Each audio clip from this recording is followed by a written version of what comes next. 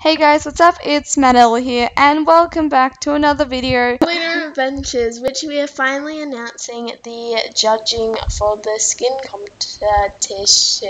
Yeah. Competition of the Christmas skin contest. So we have picked four winners. I'm pretty sure it's two guys and two girls, but I have no idea. So, by the way, if you didn't know, we're recording from the same microphone in my in my bedroom. It's cringy. It's 2 a.m.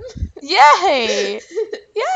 So the first winner who wins Diamond Pug rank is NBDRRD, which B really loved the Christmas tree design on his skin. It's very creative. And the second winner who wins Iron Pug rank is underscore Cyan underscore cat underscore. Um, their skin was very cute snowman. So then the gold pug was XS XX Caroline XX, and I like the layers on that one. Yeah, the layering is very detailed and very pretty. The wood pug was cheaply. They were lost because Maddie forgot about them.